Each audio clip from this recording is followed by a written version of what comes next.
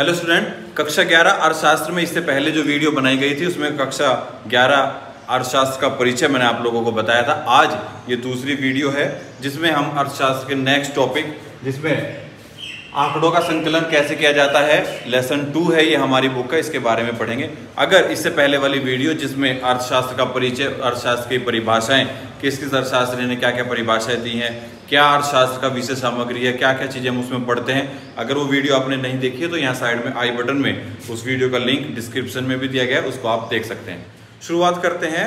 अर्थशास्त्र में सांख्यिकी स्टेटिक्स क्या है? सांख्यिकी क्या है? सांख्यिकी आंकड़ों की गणना है, आंकड़ों का विज्ञान है सांख्यिकी। किसी भी क्षेत्र, भले वो जनसंख्या का क्षेत्र है, आर्थिक है, सामाजिक है, भौगोलिक है, उसमें जितनी भी संख्याओं की गणना हम करते हैं और उन संख्याओं के पीछे अगर कोई समस्या है या उसका कोई रिज़ल्ट, निष्कर्ष निकालना है तो हम सीधे सीधे चलते हैं सांख्यिकी की ओर। सांख्यिकी गणना का विज्ञान है। हमारे जो परिभाषा है, उसमें भी दिया गया है। सांख्यिकी का अर्थ समंकों या आंकड़ों से है जो किसी विशिष्ट क्षेत्र से संबंधित, संख्यात्मक तथा उससे संबंधित समस्या से हो। जैसे कि पूरे राष्ट्र की जनगणना करना, पूरे राष्ट्र की राष्ट्रीय आय ज्ञात करना, ये तो बड़े स्तर का हो गया। अगर इसी को स्मॉल लेवल पर हम करें, हमारे कस्बे या नगर की जनगणना करना, किसी कक्षा में कितने छात्र हैं, कितनी छात्राएँ हैं, कितने छात्र किस आयु वर्ग के हैं, ये सब संख्याएँ का गणना करना, इन संख्याओं का ज्ञान करना, इन संख्याओं के बारे में पता करना, ये सब स्टेटिक्स के अंतर्गत आता है। आज की वीडियो में हम पढ़ेंगे आंकड़ों का संकलन कलेक्शन ऑफ़ डाटा क्या होता है? आंकड़ों का संकलन क्यों किया जाता है? किस उद्देश्य के लिए किया जाता है? क्या क्या आंकड़ों के संकलन के तरीके होते हैं? उन सब बातों को हम इस वीडियो में समझेंगे। शुरुआत करते हैं आंकड़ों से। जो संख्याएँ हैं, आंकड़े हैं, ये क्या हैं और क्या इनके प्रयोग हैं? किसी विशिष्ट उद्देश्य के लिए जब संख्याओं को प्रयोग किया जाता है, संख्याओं को एकत्रित किया जाता है इससे पहले आपको बता दें कि संख्या एक, दो, तीन, चार, पाँच गिनती में वो केवल संख्याएँ हैं, लेकिन अगर उन संख्याओं के पीछे कोई विशेष उद्देश्य है, किसी विशेष काम के लिए इन संख्याओं को कलेक्ट किया जाता है या लिखा जाता है तो ये संख्याएँ संख्याएँ न रहकर समंक या डाटा कहलाते हैं।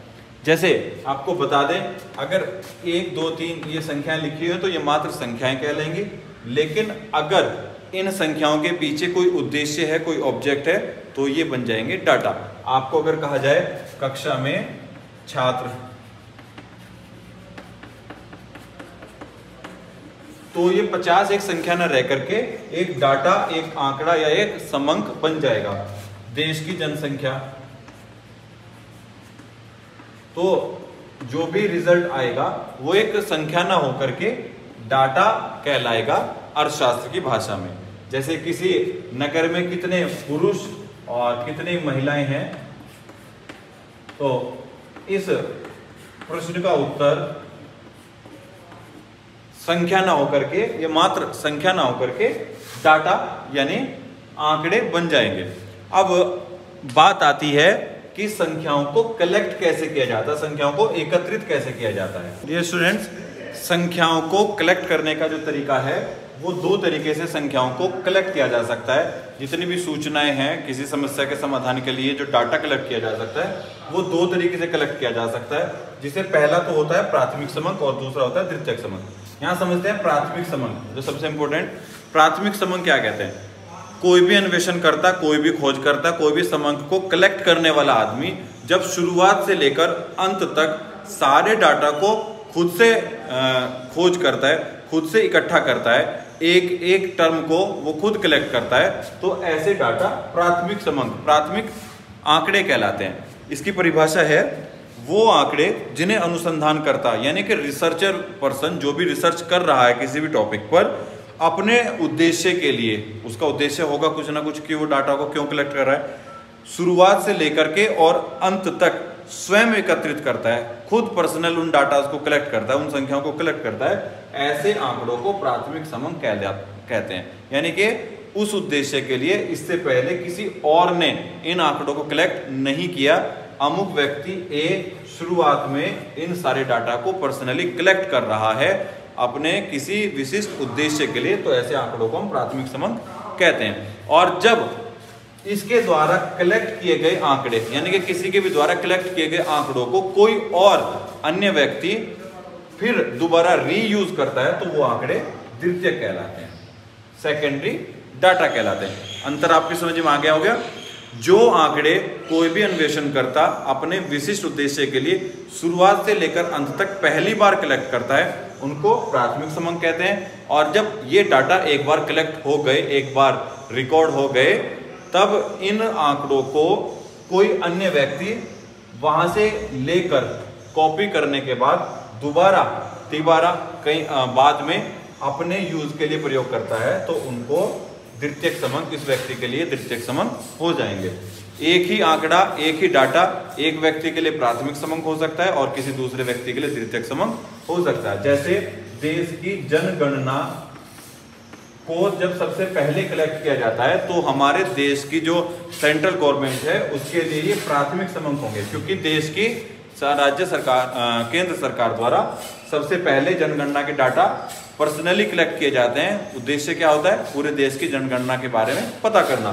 अब इन समंकों को हम लोग या कोई भी अन्य व्यक्ति उठा करके कॉपी करके उससे कुछ रिज़ल्ट निकालता है तो ये जनगणना अन्य व्यक्तियों के लिए द्वितीय समंक कहलाते हैं। अब प्राथमिक समंक या प्राइमरी डाटा वो कैसे कलेक्ट कर सकते हैं, कितने तरह का होता है, उसको अब समझते हैं ध्यान से। प्राथमिक समंक और द्वितीयक समंक में जो अंतर होता है, प्राथमिक समंक मौलिक होते हैं, क्योंकि वो पहली बार कलेक्ट किए गए हैं, बिल्कुल ओरिजिनल वो होते हैं, उसमें किसी प्रकार की छेड़छाड़ नहीं होती है, लेकिन द्वितीयक समंक किसी अन्य सोर्स से लिए जाते हैं। कोई अन्य व्यक्ति उनको कलेक्ट करता है कलेक्ट करने के बाद, उसके बाद हम उनको रीयूज करते हैं। इसलिए हम लोगों को ये नहीं पता होता कि जो प्राइमरी समंक किए गए थे कलेक्ट वो किस आधार पर किए गए थे, क्या उनका रिज़ल्ट निकला था। हम उनको बार रीयूज कर रहे हैं इस बार सेकेंड टाइम पे। तो ये अंतर होता है प्राइमरी डाटा में और सेकेंडरी डाटा में। इसके अलावा ऑब्जेक्ट उद्देश्य की दृष्टि से, प्राथमिक समंक जब कलेक्ट किए गए थे, उस समय कलेक्शन करने वाले का क्या उद्देश्य था और अब इन डाटा को रीयूज किया जा रहा है तो इसका क्या उद्देश्य है? इसके अलावा, प्राथमिक समंक को कलेक्ट करने के लिए बहुत सी सावधानियों की ज़रूरत है। ऐसे द्वितीय समंक को यूज़ करने में सावधानियों की ज़रूरत है। प्राथमिक समंक जो व्यक्ति कलेक्ट कर रहा है, वो चूँकि अपने व्यक्तिगत उद्देश्य के लिए कर रहा है तो उसे बहुत ज़्यादा सावधानियों की ज़रूरत नहीं है। वो जिस हिसाब से चाहे अपने डाटा को कलेक्ट करे, जिस हिसाब से डाटा को यूज़ कर सकता है। लेकिन जब द्वितीय समंक वो बन जाता है, कोई और उन डाटा को यूज़ कर रहा है तो सावधानी बरतने की आवश्यकता है। अब प्रश्न उठता है कि प्राथमिक समंकों को कैसे कलेक्ट करने की क्या क्या विधियाँ, कैसे उनको कलेक्ट किया जा सकता है। देखिए, प्राथमिक समंकों को कलेक्ट करने का सबसे पहला तरीका है प्रत्यक्ष डाटा कलेक्शन यानी प्रत्येक व्यक्ति से इंडिविजुअल मिलने के बाद उन डाटा को कलेक्ट किया जाए। प्रत्यक्ष समंक में प्रत्यक्ष कलेक्शन जो होता है प्रत्येक व्यक्तिगत अनुसंधान। इसका मतलब यह है कि प्रत्येक इंडिविजुअल से अलग अलग मिल करके उसके संबंधित डाटा को कलेक्ट किया जाए। जैसे हम लोगों को ये पता करना है कि किसी नगर में प्रति व्यक्ति आय कितनी है? एक व्यक्ति की जो औसत आय है, उसको निकालने के लिए प्रति व्यक्ति आय कितनी है, ये पता करेंगे। तो इस नगर में अगर 100 व्यक्ति हैं, सबसे अलग अलग जाकर के खुद मिला जाए और उनसे प्रश्न उत्तर किए जाए, उनसे डाटा लिया जाए तो ये प्रत्येक व्यक्तिगत अनुसंधान रीति कहलाती है कि प्रत्येक व्यक्ति से अलग अलग अलग जाकर के हम डाटा कलेक्ट कर रहे हैं, सूचनाएँ इकट्ठी कर रहे हैं। उसके बाद दूसरा आता है अप्रत्यक्ष। अप्रत्यक्ष में क्या होता है कि प्रत्येक व्यक्ति से हम स्वयं न मिल करके इन्हीं में से कुछ लोगों से संबंधित ग्रुप की सूचना कलेक्ट कर ली जाए। जैसे हम व्यक्ति ए के पास गए तो ए से ही बी की जानकारी और सी की जानकारी डी की जानकारी हम ले लें। ऐसे ही डी के पास गए तो आगे के व्यक्तियों की जानकारी ले लें। तो यहाँ क्या होगा कि अप्रत्यक्ष इनडायरेक्ट रूप से हम यही डाटा प्राप्त कर लेंगे। ये कहलाती है अप्रत्यक्ष मौखिक अनुसंधान कि किसी एक व्यक्ति से दूसरे ग्रुप के बारे में जानकारी प्राप्त करना डाटा कलेक्ट करना। इसके बाद आता है संवाददाताओं के द्वारा। संवाददाता एक बड़े ग्रुप में, जैसे कोई एक नगर है इस नगर में जो जनसंख्या है, वो एक लाख लोगों की है तो एक लाख लोगों से व्यक्ति का संपर्क करना मुश्किल है और बहुत लंबा समय इसमें लगने वाला है। तो क्या होता है कि कुछ एजेंट या कुछ संवाददाता होंगे, जो इस ग्रुप में से लोगों की डाटा निकाल करके हम लोगों को उपलब्ध करा देंगे। संवाददाता द्वारा एक डाटा कलेक्शन का तरीका हो सकता है। ये बड़े स्तर पर इसकी सूचनाएँ हम लोग प्राप्त कर सकते हैं। इसके अलावा नेक्स्ट है, सूचकों द्वारा अनुसूचियाँ या प्रश्नावलियाँ भरना। एक क्वेश्चन पेपर तैयार किया जाता है। उस क्वेश्चन पेपर में छपा होता है नाम, पिता का नाम और वो समरी जो हम लोगों को प्राप्त करनी है। उस समरी में क्वेश्चंस लिखे होते हैं। जैसे हम लोगों को प्रति व्यक्ति आय के बारे में जानकारी लेनी है, उनके व्यवसाय के बारे में जानकारी लेनी है तो उसमें लिखा होगा कि उनका नाम क्या है, उनकी आयु क्या है, कहाँ वो रहते हैं, क्या वो काम करते हैं, उनकी आय कितनी है, कहाँ वो खर्च करते हैं, कितनी उनके पास बचत है। तो ये प्रश्नावली एक बना करके लोगों में बांट दी जाती है। और ये कौन बांटते हैं? सूचक मतलब डाटा कलेक्ट करने वाले व्यक्ति के सूचक, उसके प्रतिनिधि। लोगों के बीच जाते हैं, इन प्रश्नावलियों को भरवाते हैं, भरवाने के बाद उनको कलेक्ट करते हैं और सब प्रश्नावलियाँ वापस ला करके दे देते हैं। तो जो भी व्यक्ति प्राथमिक समय इकट्ठे कर रहा है, वो इन प्रश्नावलियों से रिज़ल्ट निकाल लेता है डाटा कलेक्ट कर लेता है। तरह सूचकों में ये जो सूचना है, ये भिजवा दी जाती है, जैसे व्यक्तिगत भी भिजवाई जा सकती है बाई पोस्ट डाक द्वारा भी ये भिजवाई जा सकती है। बाई पोस्ट भिजवा देते हैं और बाई पोस्ट ये डाक द्वारा हम लोगों के पास वापस आ जाती है। लेकिन प्रगणक कुछ व्यक्ति नियुक्त कर दिए जाते हैं, दस, बीस, पचास, सौ आदमियों को नियुक्त कर दिया जाता है। वो जगह जगह जाते हैं, वहाँ से क्वेश्चन पेपर भरवाते हैं डाटा कलेक्ट करते हैं और वापस ला करके जो प्राथमिक समंक इकट्ठा करने वाला, अनुसंधान करने वाला व्यक्ति है, वो इनको ला करके वापस दे देता है। प्रगणक द्वारा अनुसूची बनाना का एक एग्ज़ाम्पल है। जैसे भारत की जनगणना जब होती है तो बहुत से लोग उसमें लगते हैं, बहुत से व्यक्ति उसमें लगते हैं, बहुत से कर्मचारी उसमें लगते हैं और वो घर घर जाकर के एक अनुसूची या प्रश्नावली बनाते हैं, जिसमें हमारा नाम, पिता का नाम, माता का नाम, जाति, पता, व्यवसाय, मोबाइल नंबर इस तरह की बहुत सी सूचनाएँ प्रति व्यक्ति आए। इस तरह की बहुत सी सूचनाएँ कलेक्ट की जाती हैं और कलेक्ट करने के बाद ये सब अनुसूचियाँ कलेक्ट की जाती हैं, उनसे डाटा इकट्ठा किया जाता है और प्राइमरी डाटा प्राइमरी समंक तैयार किए जाते हैं। बहुत बड़े स्तर पर भारत की जनगणना जब होती है तो वो प्रगणकों द्वारा अनुसूची बना करके तैयार की जाती है। यहाँ हमने देखा कि प्राथमिक समंकों को कैसे कलेक्ट किया जाता है प्राइमरी डाटा को कैसे कलेक्ट किया जाता है, उन सूचनाओं को कैसे इकट्ठा किया जाता है अब हम समझेंगे कि प्राथमिक समंकों को कलेक्ट करने के बाद द्वितीयक समंक, यानी कि सेकेंडरी यूज़ करने वाले व्यक्ति, उन डाटाज को कैसे यूज़ कर सकते हैं क्या क्या उनके पास सोर्स होते हैं, देखते हैं। इसके बाद हम देखते हैं द्वितीयक समंक। द्वितीयक समंक क्या होते हैं? द्वितीयक समंकों से तात्पर्य उन डाटा से है जो प्रकाशन से पहले किसी और व्यक्ति या किसी और संस्था द्वारा प्रयोग किए जा चुके हैं। अब उनके प्रयोग होने के बाद, उनके कलेक्शन करने के बाद कोई अन्य, यानी कि हम लोग सेकेंडरी दूसरी बार, तीसरी बार उनका प्रयोग कर रहे हैं तो ये डाटा हम लोगों के लिए सेकेंडरी समक, यानी कि द्वितीयक आंकड़े कहलाएँगे। अब द्वितीयक आंकड़े कहाँ से मिलते हैं? द्वितीयक आंकड़े कौन कौन से होते हैं? द्वितीयक आंकड़ों का सबसे पहला होता है प्रकाशित स्रोत्र और दूसरे होते हैं अप्रकाशित, यानी कि जो प्रिंट नहीं हुए। प्रकाशित स्रोत्र कौन कौन से हो सकते हैं? सबसे इंपोर्टेंट सबसे मेन होता है सरकारी प्रकाशन। सरकार समय समय पर बहुत से आंकड़े कलेक्ट करती है। जैसे कि जनगणना के आंकड़े प्रति व्यक्ति आय के आंकड़े कृषि के आंकड़े और भौगोलिक आंकड़े क्षेत्रफल के आंकड़े। इस तरीके से बहुत से डाटा सरकारी स्तर पर आ, मतलब हमारी केंद्र सरकार से लेकर के राज्य सरकार तक विभागीय रूप से डाटा कलेक्ट करते रहते हैं। अब वो डाटा सरकार अपने जर्नल में प्रकाशित कराती है। प्रकाशित होने के बाद अब उन आंकड़ों को हम लोग अगर अपने उद्देश्य की पूर्ति के लिए रीयूज करते हैं तो हमारे लिए वो सेकेंडरी डाटा होते हैं। सबसे बड़ा सोर्स डाटाज को कलेक्ट करने का डाटाज को प्राप्त करने का सरकारी प्रकाशन है।